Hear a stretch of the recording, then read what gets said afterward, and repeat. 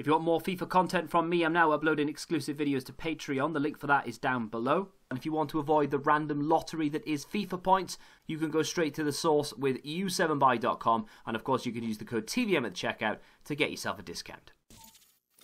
What is going on guys, Stevem here, welcome back to another video, another player review, this time FUT Birthday Lucas Hernandez. Quite an expensive card this, uh, luckily enough I've uh, got an account where he's now untradeable. Nice little pack from the FUT Birthday party bag. Uh, he's worth between massive price differences between Xbox and PlayStation for most things. This included between 230 and 290,000 coins. That is a lot of, of a gap there. A lot of a gap. Does that make sense? Let's move on. So 82 acceleration, 87 sprint speed. Absolutely terrible in front of goal. No point even mentioning that. Although he does actually score a goal for me in this review. Was it forced? Kind of. It wasn't a penalty. It was from open play. It wasn't a cross or, or a header or anything. He does actually break into the penalty area and score. But And he actually, I, now that I think about it, he actually scored with his weak foot, and he's got a uh, three star weak foot as well, so even more impressive from him with 55 finishing.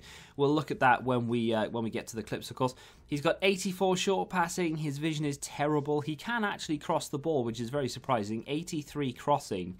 Was he a a, a fullback at one point? Maybe.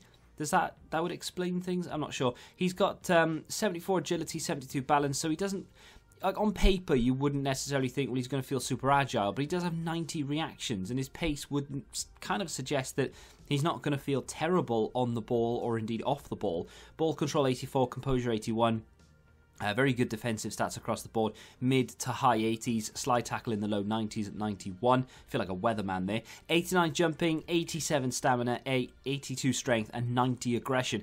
That is a a very good recipe for a, a, a, pretty damn good defender. I mean, I've just chucked a Guardian on him without really thinking about it. And the reason I did that is because he's got five star skills, which is something I didn't actually realize until I had a look at the card in great detail. I thought they would have boosted the weak foot, but five star skills centre back again.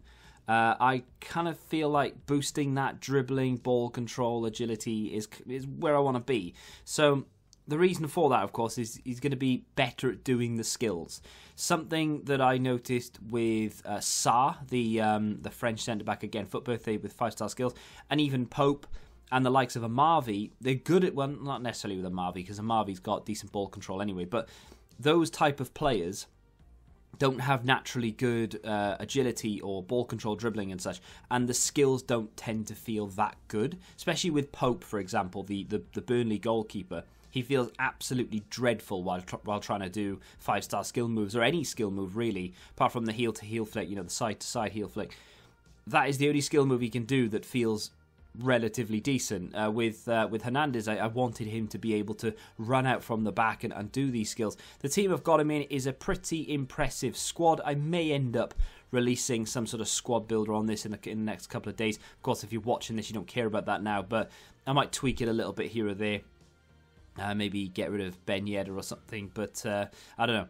Uh, we'll we'll see, but I mean, I really do like that team. A couple of players off chem slightly, but it is a very very nice team. I think the left back might be a little bit outdated now at this point. Maybe look to improve that before I bring the squad to you. But uh, either way, let's move on into uh, into the clips. Now, some of the clips are going to be a little bit like, who cares, like that right there. That's just me showing you the five star skill uh, showing so that people who think I'm um, quote unquote faking reviews, just in case there are a few still people out there uh, who think that, then you can see that I'm clearly using the card because the other version of the card does not have five star skills, and that indeed was a five star skill move. You'll see more evidence of that as we go forward, though. And like I said, he does actually score a goal. Um, the the the, ne- the negatives then should we talk about those because there aren't that many to speak of in fact there's only really one distinct negative, and that is the high attacking work rate. As a centre back, you don't want that, do you? Let's be honest. He, he bursts forward a lot, like I'm doing the little one twos, and he helps out an awful lot. And it's not necessarily that he's that good at going forward that I wanted to. Um, that's a five star skill move, by the way. Uh, not that I wanted to uh, take him forward because he's that good, but I thought I'm just going to do like a little one-two here or there. If he gets into a position where I can actually play the ball to him, maybe he can have a shot at goal. Uh, maybe you know do some sort of five star skill or skill in general and play through one of the strikers if that's possible. I mean, here he is again. He's he's managed to not score, granted, but he is doing certain skills, beating defenders, getting in round the back, and very nearly gets the, the opportunity to play that ball into the likes of Mbappe. In terms of his defensive prowess, though, honestly, he is a solid defender. Keane holds off his man there, ball beats him, comes down to Hernandez. His jockey is super, super quick, and that is one of the things that I was not concerned about, but I was eager to try out how is he in terms of the jockey and defending and his movement in general? And turns out he's very Kante esque. Now, Kante is a lot shorter, so um, I'm not saying he's Kante-esque in the sense of you know he's he's short and agile, but he does have an awful lot of mobility. He's got a, a, great range of mobility, should we say? So when he's on the jockey, he feels very very fast. When he's on the ball, he doesn't feel like a robot. And I was concerned that the agility and the balance weren't going to be high enough, and he was going to feel a little bit stiff. Like Ogbonna, for example, he's the player or Hernandez is the player rather that uh, replaces Ogbonna in this team. Ogbonna, the flashback card, he now drops out of the squad completely and kind of almost rendered pointless. And uh, I did that for no reason, but still. Uh, that was um, that, that that that that card really did lack the mobility. I mean, he's obviously tall as well, but he he felt quite stiff. I mean, he's a good card. He is a very good card. He is almost end game, but he um, he did feel very stiff. Whereas Hernandez, he's six foot, so he's got a bit of height to him. He's got the strength, he's got the the defensive capability, and now he has the range of movement as well to be able to do quick drag backs to get himself out of danger. Little skill moves. Of course, he's got the five star skills, so a complete range of skills as well. And like there, just manages to track the attacker the entire way, and then we get the ball forward. I think that was the. Um, the, the future stars uh, Ikoné maybe that he tackled. Either way, I think this is the goal coming up or close to the goal. So runs into the midfield area, gives a little one-two with Neymar, goes around the outside with Ben Yedder, a little touch forward to Neymar. Okay, this isn't the goal. Wait, no, it is. It is the goal. Is it the goal? I don't know. It's coming up though. Uh, here is Mbappe on the ball, and he gets in. This is Mbappe's goal actually and then uh, the next the right the next one is Hernandez's goal. So we managed to to take the ball there with Hernandez. We give it back to him. We give a little one-two here. He nearly loses it, but his strength holds true. Then he gives it to Neymar, back to Ben Yedder, waits, waits, waits. There's Hernandez through the middle, and bang, with the weak foot, I might add, with 55 finishing into the back of the net. And that was a very good goal. And I was kind of doing that a lot. I was trying to get him to go forward because with five star skills, realistically, I just want to have a bit of fun. I wasn't necessarily expecting him to be the the be all and end all of defenders and to replace anyone in the team really. But turns out yes, he is better than Ogbonna. So if you have Ogbonna and you can maybe fit Hernandez in your team instead, and you are umming and ahhing between the two, Hernandez is better in my honest opinion. Uh, but that aside, you can still have fun with him with the skills, and the skills are very useful. They're not just there for the sake of having them, like Pope.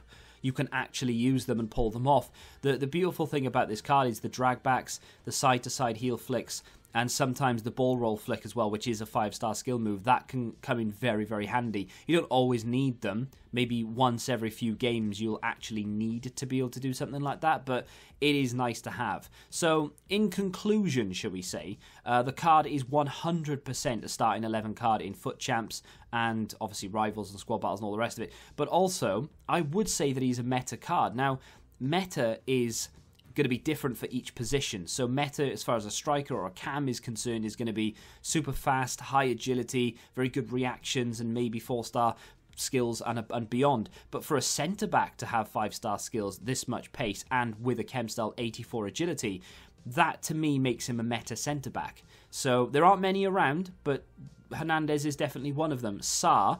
Uh, who was uh, another FUT Birthday card available as an SBC. He is what I would class as a meta centre back as well. So they link together, which is quite nice as well. If you've got that uh, winter refresh Areola, which I think is one of the best French goalkeepers you can get, or of course if you've got an icon, you can link those two together uh, and have a, yourself a little triangle. But um, I definitely think he's worth the coins.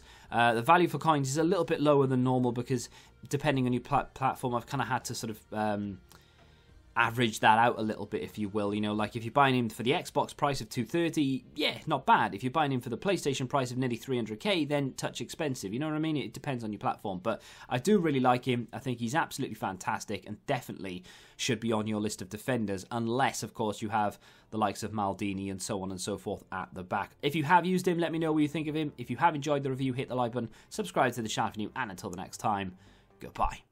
Football Index. The game changed. Download the app now.